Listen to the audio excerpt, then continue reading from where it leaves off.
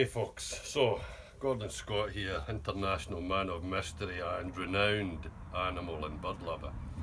We've came to this location because we've heard there's a poor bird perhaps caught down the drain. So my lovely assistant who's behind the camera, say hello Vicky.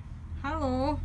We'll assist to move this as quickly as we can because time's of the essence. If you could Victoria, give me a wee hand. Don't stop recording, just give me a wee hand to move it. one hand. Yeah, one hand to move it, thank you.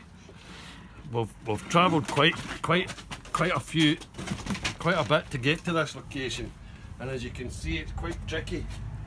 Uh, we've got a hose pipe here that we'll have to disconnect.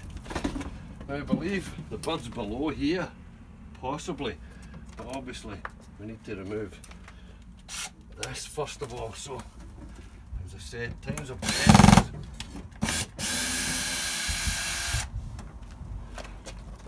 essence. We need to work fast and efficiently. Fast and efficiently. Here it is. Now it's been quite a wee while since this bird was last heard, so hopefully we'll all have a happy ending that we're all hoping for. But let's get this out of the way. Excuse me, my lovely assistant. Okay.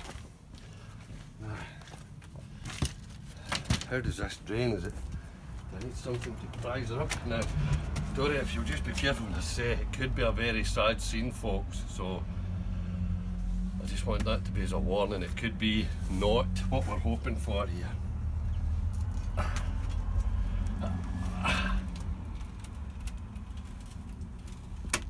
Oh, the bird's there. I can see it. It's alive. Can you see it? That's it. Can you zoom in there, Vicky? Can you see that? In the corner? I think it's a starling. Now, what we'll have to do is, we'll have to remove this industrial weight, heavy metal. You need a hand? Oh, and hopefully, if we leave Mr. Starling there just for a moment, he will come out on his own. If not, I'll have to go in and help him. Hopefully he's not injured. Just bear with us folks.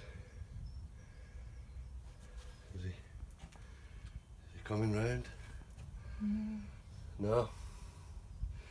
Do you think I should go in? Help him out? Oh, just a pokey stick. No pokey stick, Victoria. We need to treat this with kid gloves. There's a wee brush. Well, I don't want to bring undue uh, stress to this already stressed